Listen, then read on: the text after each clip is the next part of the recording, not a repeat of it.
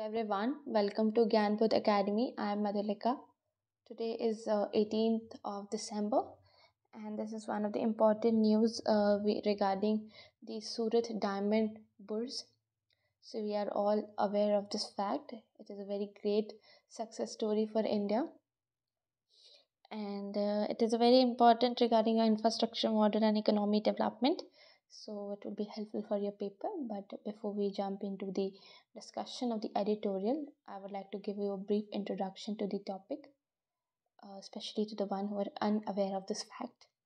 So to begin with uh, this article is about sdb which is the surat diamond bourse now what is this so to, to begin with 2014 uh, there was a meeting uh, in uh, regarding the ministers and all. So there it was decided about the world diamond world diamond industry and trade. So in that it was decided that there should be a uh, india should come up with uh, you know diamond uh, infrastructure models and in one roof we can export and relate to diamond business trade their making their polishing of the diamond and all such issues that come under diamond mm, business. So with that program after 5 years after 5 years uh, including your covid including your covid in only 5 years i would say in only 5 years this biggest model of surat has come in. So you can see this picture. It is a very big big uh, infrastructure model that is uh, in surat regarding the diamond industry. You can even google and see how uh, big this uh, infrastructure model is. So it is uh, inaugurated by uh, pm on a sunday. It was inaugurated by him. And let me tell you that this has become this sdb surat diamond bars uh, has become the world's biggest center or world's biggest hub for uh, your international uh, diamond uh, trade and uh, international diamond trade and jewelry business. And it has been inaugurated by a pm moreover uh, it has become the biggest office biggest office space in the world. You see how large how big this model is and apart from that it has even generated uh, approximately 1 lakh employment. Then only you can relate how big this is how vast this uh, infrastructure model is that 1 lakh people have got jobs into it. Plus uh, what is the main agenda तो आप लोगों ने मोदी जी के speech में भी सुना होगा कि उन्होंने कहा था इसका मेन एजेंडा क्या है? कि आपका जो डायमंड का जितना भी काम है, चाहे वो पॉलिशिंग हो ट्रांसपोर्टिंग हो ट्रेडिंग हो मेकिंग हो कटिंग हो, या you know finding the material हो, वो भी सारा एक रूफ के अंडर एक रूफ के अंडर आ जाएगा सारा काम। और इससे पहले क्या था? हम लोग का जो डायमंड हब था, वो आपका मुंबई में था।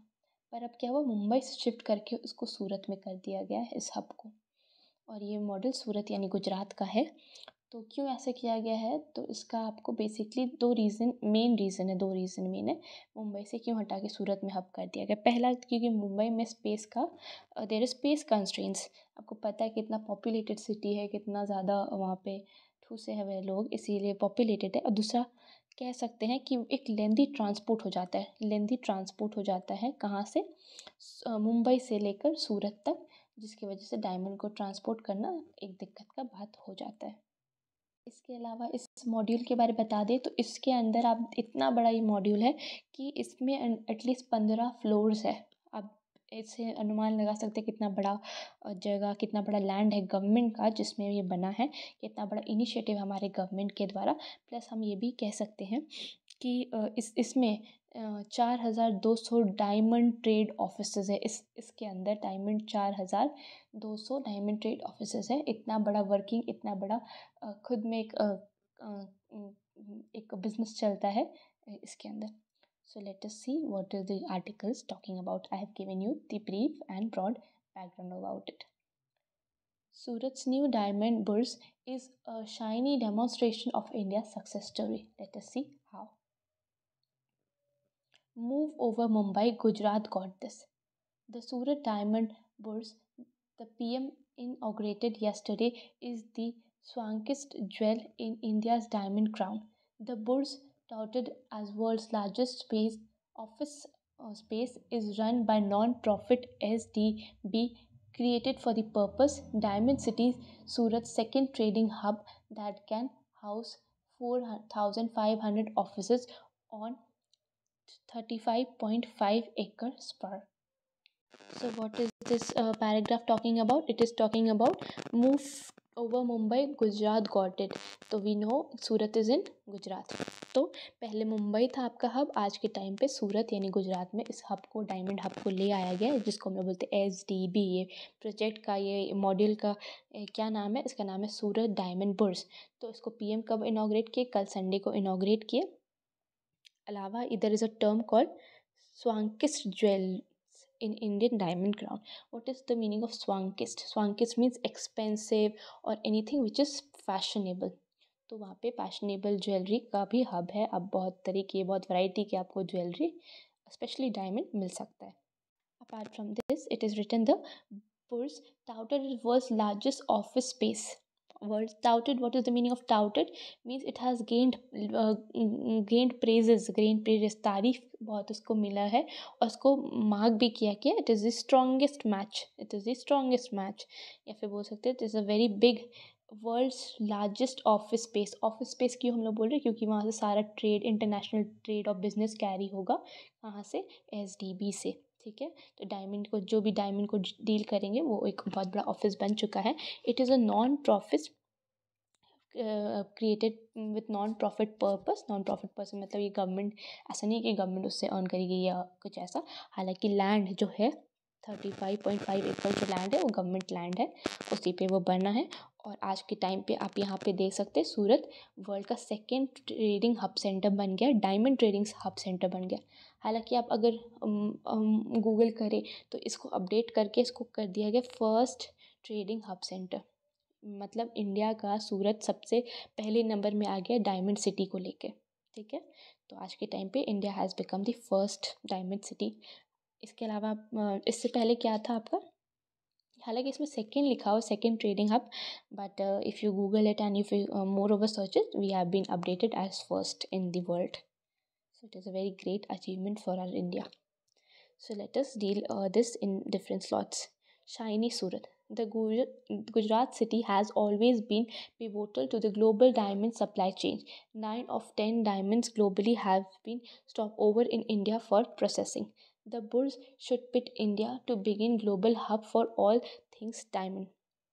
This is much needed at a time when exports have been seen a slump in the glare of geopolitics like G7's restrictions and ban on Russia source gem. So इस paragraph में आपको क्या कहा जा रहा है इसमें बोला जा रहा था कि Gujarat city has always been pivotal to global diamond supply chains तो pivotal का मतलब क्या है? It has become the very crucial और determining factor for what diamond city for crucial और डिटरमाइनिंग फैक्टर या आप बोल सकते it is a central for global diamond supply chain Gujarat city क्यों? आज के टाइम पे हम देख ही सकते इतना बड़ा वहाँ पे ऑफ़िस खड़ा कर दिया गया है। और इतना सारा डायमंड का काम एक ही रूफ के अंडर हो रहा है तो बहुत बड़ा देश में पहली बार ऐसा कोई प्रोजेक्ट आया। So it has also seen अगर नौ से अगर दस डायमंड का ग्लोबल इंडस्ट्रीज़ है या फैक्ट्रीज है या ट्रेडिंग बिज़नेस है इंटरनेशनली तो nine of them has been a stop over in India for processing so stop over मतलब क्या होता है? Stop over means any short stops in the journey तो उसको बोलते हैं हम लोग स्टॉप ओवर या फिर बोल सकते हैं stop short kind of pause in the journey so it has been seen in this factor is also been seen in India उसके अलावा बोला जाता है the bourse should put India to being globally hub for all things diamond तो ये हम आज के टाइम पे देख सकते हैं कि ग्लोबल हब हो गया। ग्लोबल हब मतलब पूरे इंटरनेशनल पूरे हर वर्ल्ड के, देश के जो डायमंड सिटीज़ है या फिर जहाँ भी डायमंड के डील होता है, उसमें इंडिया सबसे ग्लोबल पोजीशन या सबसे फ़र्स्ट पोजीशन आज के टाइम पे ऑक्यूपाई कर रहा है specially in case of diamond हालाँकि other jewels can also be seen at that area ऐसा नहीं कि सिर्फ़ डायमंड से वो लोग डील करेंगे, बाकी ज्वेलरी पर majorly diamond is the major aspect of this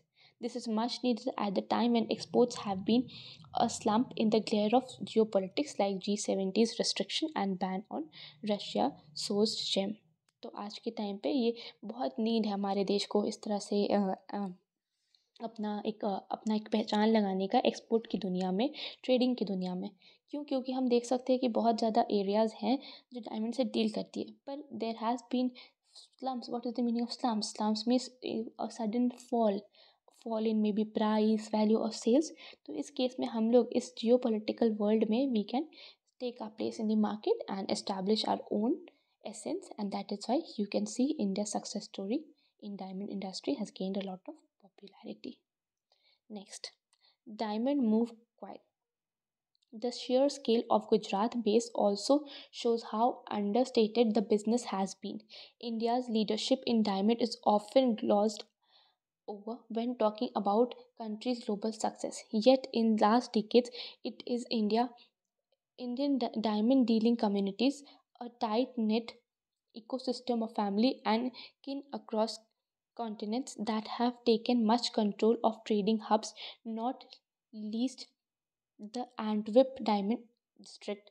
So, what is this talking about? तो इसमें बोला जा रहा है कि इतना बड़ा जो स्केल है डायमंड का या गुजरात में इतना बड़ा सेंटर बना डायमंड सेंटर बना या डायमंड सिटी बना it is it has shown how understated the business has been understated मतलब बहुत अनवैल्यू किया गया है इस बिज़नेस को या फिर हमारे देश को। इसमें कंसिडर नहीं किया जाता है कि हमारे देश ऐसा भी कोई इतना बड़ा प्रोजेक्ट ला के खड़ा कर सकता है। So this has been a witness the Gujarat has been different witness of this की yes we can establish and we can bring such a big industry उसके अलावा बोल रहा है कि Indian leadership in diamond is often glossed over what is the meaning of glossed over glossed over मतलब क्या होता है? कि it has always been avoided while talking about our global success जब इंडिया का सक्सेस स्टोरीज़ या global success या कैसे इंडिया अपने, अपना कदम रख रहा है पूरे मार्केट में, पूरा ग्लोबल मार्केट या ग्लोबल इकोनॉमी में, तब हमारा डायमंड के बारे कभी बात नहीं होता था। It has always been avoided this topic but in last decades we can see how Indian diamond dealing communities have gained a place a tight net what is the meaning of tight net tight net मतलब सारे लोगों के बीच एक अच्छा relation एक अच्छा strong building relationship has been formed between different communities who deal with diamond and other such diamond dealing communities है। उसके साथ इंडिया का बहुत अच्छा टाइप हो गया, जिसके वजह से या जिसका रेपोकेशन आप देख ही सकते हैं, इतना बड़ा हम लोग डायमंड सिटी बनाए हैं। And it is taking control of the trading hub control of the trading hub मतलब हमारा देश सबसे टॉप में आ गया वर्ल्ड में not least the Antwerp diamond district not least मतलब हमारा डायमंड इंडस्ट्री या फिर सूरत का जो एस डी पी है, वो किसी एंड्रिप सिटी हम लोग जानते हैं एंड्रिप क्या है? एंड्रिप क्या है? एक प्रोविंस है प्रोविंस या स्टेट बोल दीजिए। वो किसका है आपका प्रोविंस या स्टेट ये आपका बेल्जियम का एक प्रोविंस है, ठीक है? बेल्जियम का एक प्रोविंस है नॉर्थ नॉर्दर्न बेल्जियम का प्रोविंस है और इसको क्या कहा जाता है, ये बहुत बड़ा दुनिया का एक बहुत बड़ा डायमंड सिटी नाम से या वर्ल्ड डायमंड ट्रेड के नाम से इसको जाना जाता है। It is also a big hub of diamond. तो हम लोग का बोला जा रहा है कि हम लोग इस तरह से गुजरात का डायमंड बुर्स को इस्टेब्लिश किए कि हम लोग इस सिटी से या इस प्रोविंस से कम नहीं है, पीछे नहीं है। हमारा ग्लोबल लेवल पे नाम आने लगा है। किसका? सूरत डायमंड पुरस् का ग्लोबल लेवल पे या टॉप में नाम आ चुका है। Losing some shine sliding demand in affluent market including China has meant a slump in exports so much so that Indian diamantaires have revise their financing from banks by a third from billion dollar in fiscal 2023 to four billion dollar this year. The price of certain categories of solitaries slide some 35 between January and Diwali.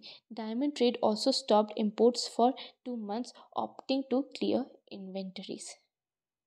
So इसमें कहा जा रहा है कि कैसे ये जो diamond का ट्रेडिंग है, कैसे वो up and down has been stone in exports and import कैसे बिज़नेस ग्रो करता है या ढलता है डायमंड का तो उसके बारे में बताया गया तो इसमें बोल रहा है कि जो डायमंड का मार्केट में जो भी है affluent market affluent what is the meaning of affluent affluent मतलब जो भी एक एक हेल्दी मार्केट एक वेल्दी मार्केट या जो मार्केट में बहुत ज़्यादा पैसा है फॉर एग्ज़ाम्पल चाइना के मार्केट में या फिर चाइना देश में बहुत वेल्दी इकोनॉमी है।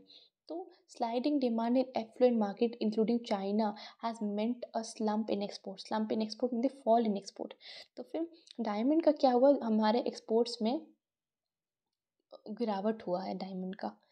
In some in last few decades in the market of diamond industry और इस कदर हुआ है कि हम लोग देख सकते हैं जो इंडियन डायमंड्स है, उसका फाइनेंसिंग जो हुआ बैंक से it has reduce from dollar six billion to in this year four billion dollar plus ये जो प्राइस है सर्टेन सर्टेन डायमंड या ऐसे सच सॉलिडरी सॉलिटरीज मतलब ऐसे सच डायमंड या फिर कुछ भी ऐसा जेम मटेरियल है, उसका कैटेगरी का प्राइजेस भी डिटोरेट किया है between thirty five percent from January to Diwali यानी जनवरी से लेकर आप नवंबर अक्टूबर कह लीजिए। तो इसके अलावा हमारे जो डायमंड ट्रेडर्स हैं, उनका एक्सपोर्ट्स भी दो महीना के लिए रुका है क्यों? क्योंकि there has been certain fall in the diamond market तो this is also one thing last home grown greater the industry anticipate some of the slump will be offset by Indian shifting to diamond jewellery potentially twenty percent of the market the Surat she bank is all set to make the business sparkle some more तो इसमें क्या बोला जा रहा है? कि जो भी स्लम्स यानी ये फॉल हो रहा है मार्केट में सेल्स में एक्सपोर्ट हो रहा है, वो इंडिया मार्केट ओवरटेक कर सकता है। क्यों? क्योंकि आज के टाइम पर हम लोग सबसे वास्ट अपना स्पेस बना लिए हैं डायमंड इंडस्ट्री में डायमंड सिटी के लिए तौर पे। तो हम लोग इस फॉल्स को या सेल्स को या फिर जो एक्सपोर्ट को, ये जो डायमंड की इंडस्ट्री में गिरावट हो रही है, उसको हम मैनेज कर सकते हैं कहीं ना कहीं। Potentially by twenty percent of the market हालाँकि मार्केट के ट्वेंटी परसेंट हम लोग ओवरटेक कर सकते हैं या फिर अपना जगह उसमें बना सकते हैं twenty percent in the market उसके अलावा बोले Surat she bank what is the meaning of she bank means the structure means the structure of any organisation और अफेयर तो जैसे हम लोग का जो सूरत शी बैंक मतलब सूरत ऑफ़िस का जो स्ट्रक्चर है it is all set to make the business sparkle more इसका जो भी बनावट है, जिस तरह से मॉड्यूल है, बहुत यूनिक तरह का या फिर बहुत अच्छा सा अपना, इतना बड़ा एकड़ ज़मीन में अपना बना है, इतना सारा उसमें ऑफ़िस है, पंद्रह फ्लोर्स है, बहुत बड़ा बिल्डिंग है तो इसका स्ट्रक्चर भी एक तरह से बहुत ही अट्रैक्टिव है पूरे इंटरनेशनल एरिया में अपना इंटरनेशनल मार्केट में अपना स्पेस रखने के लिए तो ये अलग तरह का सक्सेस स्टोरी या इकनॉमी के लिए बहुत हेल्दी है। तो that's all for today thank you and have a wonderful day